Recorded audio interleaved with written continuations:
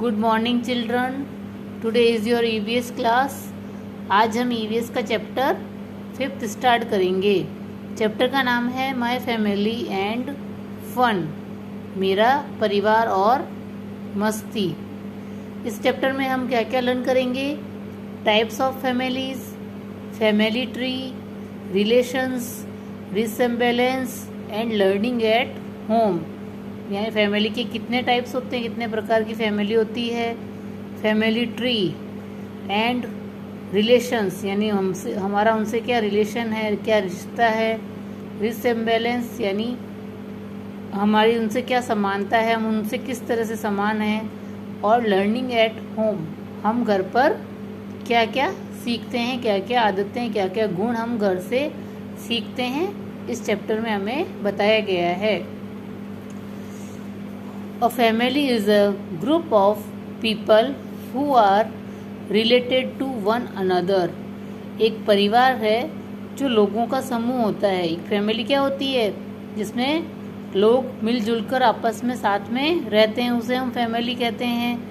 अब जो फैमिली में जो लोगों का ग्रुप होता है, वो एक दूसरे से जुड़े हुए रहते हैं, एक दूसरे से रिलेटेड होता है। किसी कोई मम, कोई दादा दादी है, कोई फिर चाचा चाची से उनका रिलेशन है कजिन ब्रदर सिस्टर होते हैं, इसी तरह हमारा उनसे रिलेशन होता है।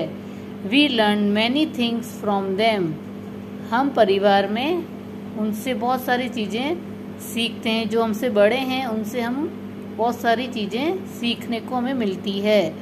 They are our family members यानी वे हमारे फैमिली मेंबर्स ही हैं, जो हमें अच्छी आदतें सिखाते हैं।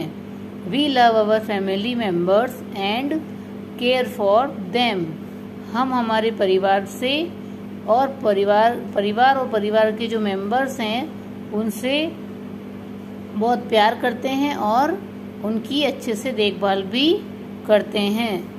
A family in which only parents and children live together is called a nuclear family nuclear family यानी जिस परिवार में सिर्फ़ माता पिता और उनके बच्चे रहते हैं साथ साथ में उसे हम न्यूक्लियर फैमिली कहते हैं। A family can have a few और मैनी मेंबर्स सो फैमिली में बी स्मॉल और लार्ज यानी एक परिवार में सिर्फ़ जहाँ माता पिता और बच्चे ही हैं, उनके बच्चे तो फिर वो न्यूक्लियर फैमिली कहलाएगी। अगर उस परिवार में थोड़े और बहुत ज़्यादा मेंबर्स होते हैं, कोई परिवार होता है जिसमें कुछ ही मेंबर्स होते हैं और कुछ कुछ परिवार बहुत बड़े होते हैं तो इस तरह के परिवार को हम स्मॉल और लार्ज फैमिली कह सकते हैं। टाइप्स ऑफ़ फैमिलीज़ फैमिलीज़ के, परिवार के प्रकार. A family in which many members live together is called a joint family यानी एक परिवार में जहाँ बहुत सारे मेंबर्स साथ में रहते हैं, उसे हम जॉइंट फैमिली कहते हैं. Uncle aunt grandfather grandmother mother father children cousin brother sisters ये सभी जब मिलजुल कर साथ में हम रहते हैं तो उसे हम जॉइंट फैमिली या संयुक्त परिवार कहते हैं।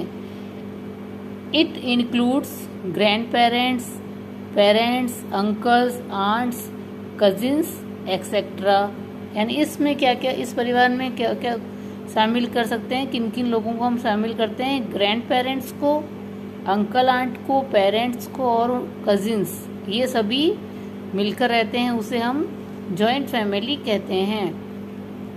Sometimes children may live with a single parent इधर फादर मदर और फादर अब क्या हुआ कुछ टाइम से, जो बच्चे हैं वो सिंगल पेरेंट्स के साथ भी रह रहे हैं। जैसे या तो मदर के साथ रहते हैं मदर नहीं है तो फादर यानी दोनों में से एक होता है। Such family is called single parent family और इस तरह की फैमिली को हम सिंगल पेरेंट फैमिली कहते हैं। यानी उसमें या तो मदर होगी तो फादर नहीं होंगे और फादर होंगे तो मदर नहीं होगी। तो इस तरह के परिवार में भी आजकल बच्चे रहते हैं और उस फैमिली को हम सिंगल पेरेंट फैमिली कहते हैं। नेक्स्ट पेज पर आइए।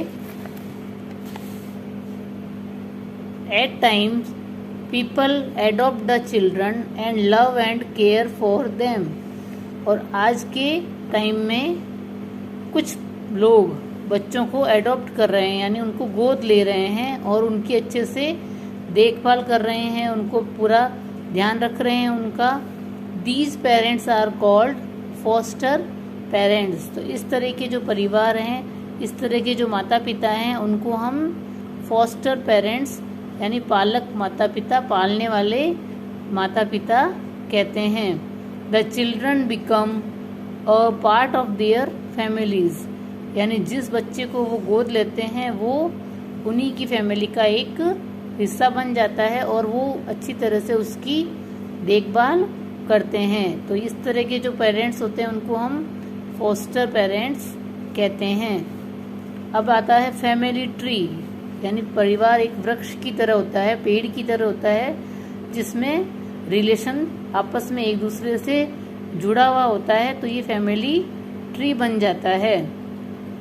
A family tree is a chart like tree that represent family relationships यानी जो फैमिली ट्री है, परिवार एक वृक्ष है, उसको हम बनाते हैं चार्ट की तरह तो उसमें रिलेशन आपस में जुड़े हुए हमको दिखाई देते हैं। The first generation so grandparents the second generation shows parents and their brother and sisters and third generation so siblings and cousins यानी जो ये ट्री बनाया गया है फैमिली ट्री बनाया गया है, उसमें सबसे फ़र्स्ट जो जनरेशन आती है, वो ग्रैंड पेरेंट्स की आती है। देखो, अभी पिक्चर में दिखाई दे रहा है grandmother and grandfather तो ये फ़र्स्ट जनरेशन हो गई। सेकंड जनरेशन में क्या हुआ? इनके जो बच्चे होंगे, जैसे मदर और फादर हमारे मम्मी पापा और अंकल और आंट तो ये हैं सेकंड जनरेशन थर्ड जनरेशन में क्या आएगा? सिबलिंग्स अब मदर और फादर के ये दो बच्चे हैं तो ये आपस में भाई बहन हैं और ये अंकल और आंट के दो बच्चे हैं, ये आपस में भाई बहन हैं। लेकिन ये कजिन इनके ये कजिन है और इनके ये कजिन ब्रदर और सिस्टर कहलाएँगे। तो ये आपस में ये फैमिली ट्री बन जाएगा।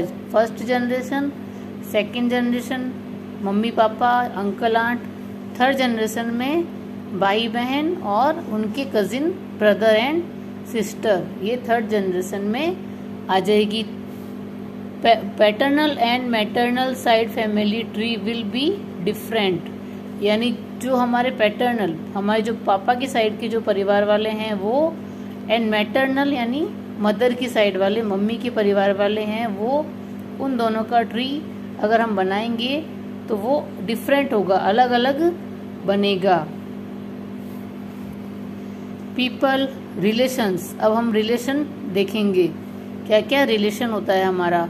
People who are related to each other in a family are known as relatives हमारे जो परिवार के मेंबर्स हैं, जिनसे हमारे संबंध होते हैं, परिवार की फैमिली मेंबर्स से, उनको हम रिलेटिव्स कहते हैं। रिश्तेदार कहते हैं कि ये मेरे अंकल हैं, ये मेरी बुआ है, ये मेरे मामा हैं, ये मौसी हैं। तो ये सब जो रिश्ते हैं इनको हम रिलेटिव्स कहते हैं।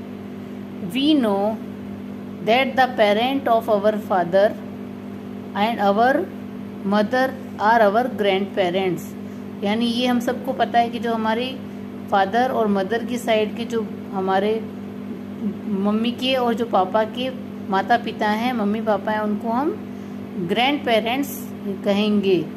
फादर की साइड के जो पेरेंट्स हैं, उनको हम दादा दादी बोलते हैं। और मदर की साइड के जो पेरेंट्स होते हैं, उनको हम नाना, नानी या नाना जी नानी जी कहते हैं। तो वो कहने में ग्रैंड पेरेंट्स कहलाते हैं। Our father's parents are our paternal grandparents यानी जो हमारे फादर की तरफ़ के जो ग्रैंड पेरेंट्स पेरेंट्स हैं, उनको हम पैटर्नल ग्रैंड पेरेंट्स कहेंगे। Our mother's parents are our maternal grandparents मतलब हमारी जो फादर के साइड के जो पेरेंट्स हैं, उनके जो मम्मी पापा हैं फादर के, उनको तो हम पैटर्नल ग्रैंड पेरेंट कहेंगे और मदर की तरफ़ के जो हैं, उनको हम मैटरनल ग्रैंड पेरेंट्स कहेंगे। We are grandchildren of our grandparents और हम ग्रैंड चिल्ड्रन हैं हमारे ग्रैंड पेरेंट्स के। हम मदर के साइड वालों के तो वो हमारे नाना नानी है तो हम उनके दोहिता दोहिती होते हैं और जो पैटर्नल साइड के हैं, उनको हम दादा दादी बोलते हैं ग्रैंड पेरेंट्स को, और उनके हम पोता पोती क्या कहलाते हैं। तो आज के लिए हम इतना ही लर्न करेंगे। नेक्स्ट क्लास में इससे आगे लर्न करेंगे। Thank you for today's class